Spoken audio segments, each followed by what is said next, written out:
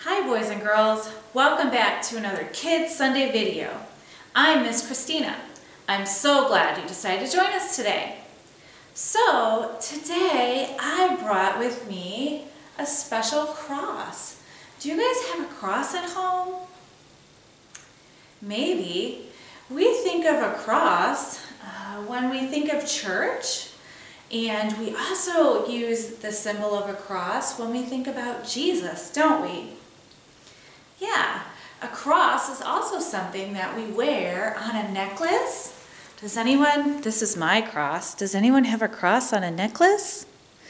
I do. Sometimes we have a cross on a necklace. Sometimes there's a cross um, on your Bible. And so the cross is a very um, recognizable symbol. In today's Bible story, we're going to talk about when Jesus died on the cross. And that is an important part of our Easter story. All the things that we've been learning about have led up to this very special story. And this is one of the saddest stories in the whole entire Bible. So, everything in our Bible story today is true, and it comes from the Bible. Um, if you guys remember, a few weeks ago, we learned about Jesus' triumphal entry, and people were welcoming Jesus into the town as their king. Then um, Jesus was asked some very tricky questions, but he answered with wisdom and authority. Then uh, we learned that Jesus ate his Last Supper uh, with his disciples, and he commanded them to remember him by eating that meal together. And last week we learned that while he was in the garden praying, uh, Jesus was arrested, but he didn't do anything wrong. And this week our story is called Jesus' Crucifixion. And it is a sad story. Um, and it, we're going to learn about the time that Jesus was uh, died on the cross. And so, um, before we do that, I'm going to ask our big picture question. Do you guys remember what our big picture question is? Hmm, let's see if I can find my question mark. Where's question mark today? Boop, here's silly question mark. All right, I'm going to move my crossover and our, maybe I'll move my crossover. Our big picture question is, what did Jesus do to save us? We've been talking all these weeks about what Jesus has done to save us, and today's Bible story is what Jesus did to save us. Jesus lived a sinless, perfect life. He died on the cross, and then he rose again from the dead, which we'll learn more about in the next coming weeks. But that's what Jesus did to save us. So, I hope you guys can get your listening ears on because this is a great story. It's is probably a story that you've heard before, but let's get our listening ears on and remember this important Bible truth. All right, let me get my listening ears on. Boop. Okay, the Bible story is next.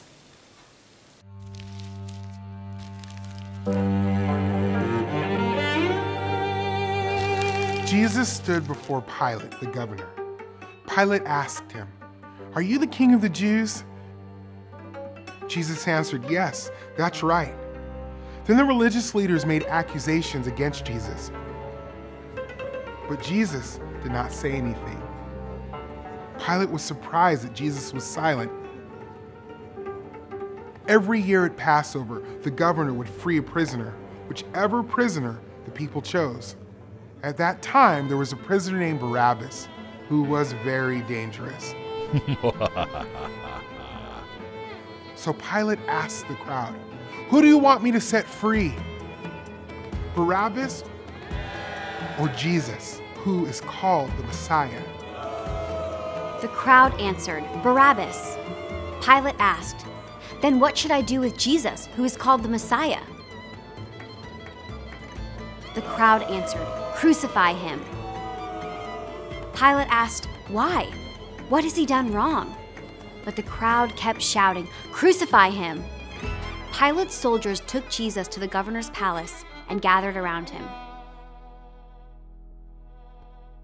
They took off his clothes and put a scarlet robe on him. They made a crown of thorns and put it on his head. Then they hit Jesus and mocked him. Hail, King of the Jews, they said. The soldiers nailed Jesus to a cross. Then they cast lots to decide who would get his clothes. They put a sign above his head that said, This is Jesus, the King of the Jews. Two criminals were crucified next to him. As Jesus was on the cross, people mocked him. He saved others, but he cannot save himself, they said. From noon until three in the afternoon, darkness covered the land. Then Jesus cried out, My God, my God, why have you forsaken me? Jesus shouted again with a loud voice, It is finished. Then Jesus died. Suddenly, the curtain in the temple sanctuary split in two from top to bottom, and there was an earthquake. One of the men near the cross said, This man really was God's son. Jesus was buried in a rich man's tomb cut into a rock. A stone was sealed in front of the tomb, and Roman soldiers stood guard so that no one could steal Jesus' body.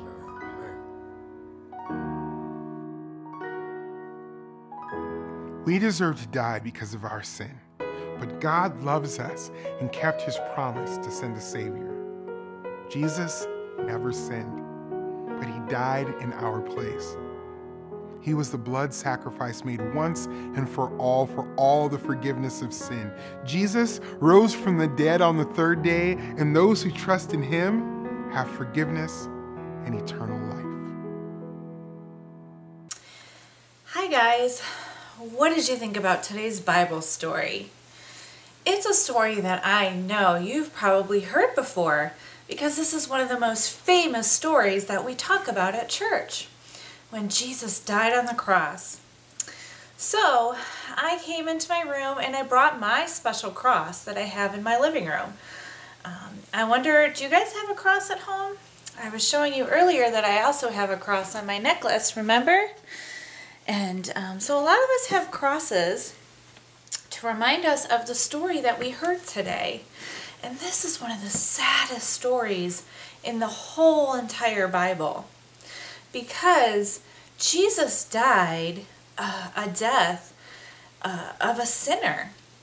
When they put people on a cross and crucified them, it meant that the people uh, did something wrong and that they were criminals. And Jesus was not a criminal. He did not have anything um, that he did wrong, remember? And so it was the saddest uh, story in the Bible because normally uh, people are guilty when they are crucified. But Jesus wasn't guilty. Um, and the Bible teaches that we have sin in our lives and we are guilty of sin and we are the ones who also deserve death. Uh, but Jesus died for us so that we don't have to suffer for our sins. Instead, God allows Jesus' death on the cross to take our place for the wrong that our sins have done. And so, this is why this week's Bible story is also the most important Bible story in the whole entire Bible. Because Jesus dying on the cross is why we um, read the Bible. This is the story that we get the most excited about. And um, the week before Jesus died on the cross, people were praising his name, if you remember. And um, the crowds then later were laughing at Jesus, calling him and mocking him and calling him names and demanded that he was put to death on a cross. Um, and so the people even called for the murderer, remember, um, to be set free. And um, they preferred a dangerous criminal to be on the loose rather than to save Jesus. And it's important to realize, too, that Jesus could have completely stopped all of this from happening. But did he do that? No, he did not. He allowed evil people to, um, to do this to him. And um, he chose to let the evil plan happen because he knew that it was God's plan. And he, um, he knew that it was God's plan to save us as a people from our sins. So Jesus carried a cross, just like the crosses that we have in our homes, um, up to a hill and the Roman soldiers nailed his hands to the cross and they crucified him. And he died on that cross for our sins. And um, and he did it because he was doing God's will. Jesus never sinned, and he died in our place for our sins. The blood that was shed for um, for us was a sacrifice made once and for all for forgiveness of the sins that we have in our lives. Jesus rose from the dead on the third day, which we'll learn about coming up. And um, for those who trust in him, you will also have forgiveness and eternal life in him. And this is the greatest Bible story ever.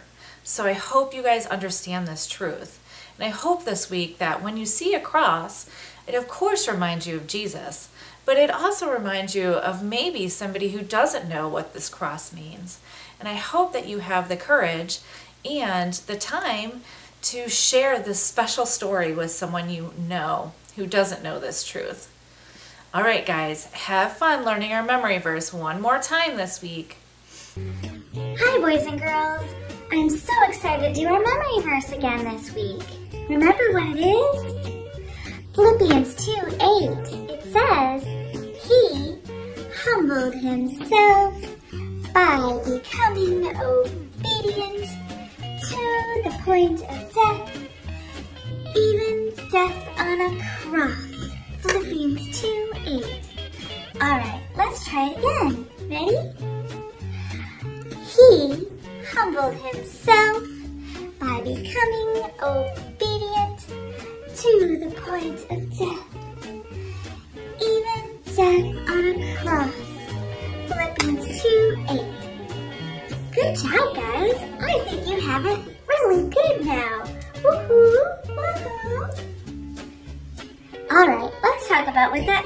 week. Okay, guys, let's learn about our memory verse. So, today's story is all about our key passage. It's based on that. Paul explained that Jesus didn't die because he deserved to die or because he didn't have control of the situation. No, Jesus died on the cross because he was obedient to his Father, 100%. All the way he was obedient. We have forgiveness and eternal life forever with God because Jesus' perfect obedience including his death and resurrection. So, our Bible story today is just like our memory verse. It goes together.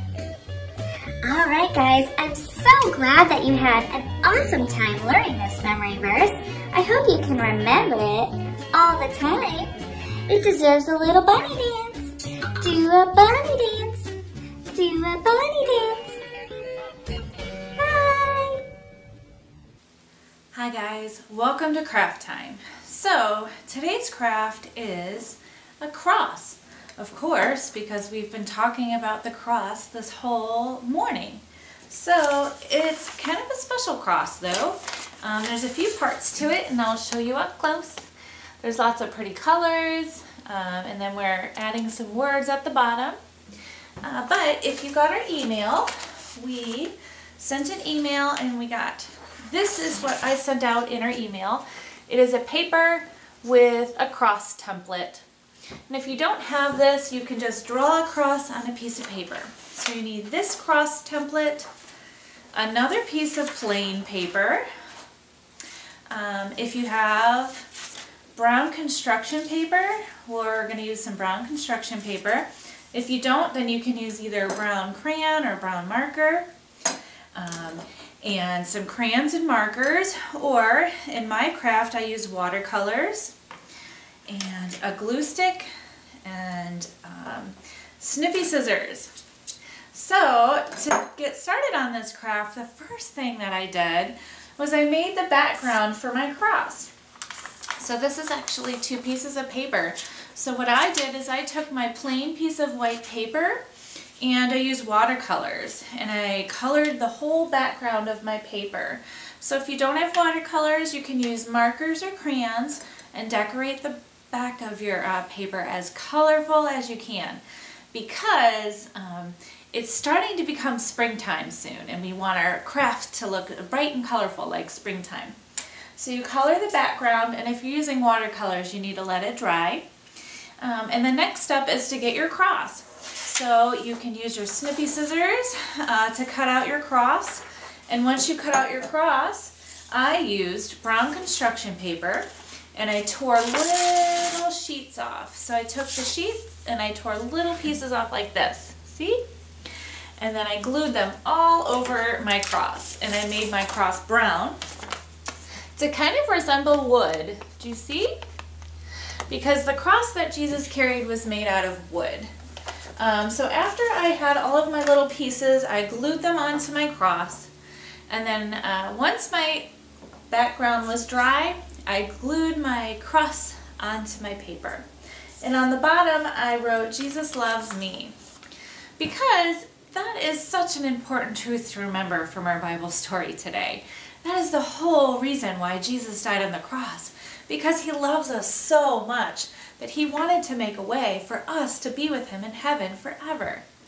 And he made a way for us to do that by dying on the cross for our sins. So I hope you guys have fun making this craft today. And um, I hope it can be a colorful cross craft for you. Um, and I also hope that you guys have time this week to share this amazing story with somebody who might not know this story. All right, before we go, um, as always, we're to fold our hands and say our prayer. So our hands we fold, our heads we bow so we can talk to God just now. Dear God, thank you for sending your son Jesus to die on the cross for our sins. Thank you for this very special Bible story. And uh, we know that it's the saddest story, God, but it's also the most exciting story. So I pray this week that we would remember our Bible story and think about others who might not know this story and give us the uh, courage to share these wonderful things with others. We love you, God. Amen.